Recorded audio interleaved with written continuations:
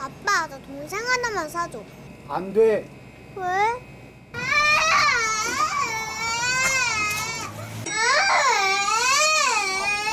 왜? 아빠 돈 없어. 얼마가 필요해? 4달러. 이러시면 안 돼요. 여기 함안군청이에요. 4달러. 그래도 딸 넷은 좀. 4달러. 그럼 딸 둘, 아들 둘 낳으시죠. 오케이. 땡큐.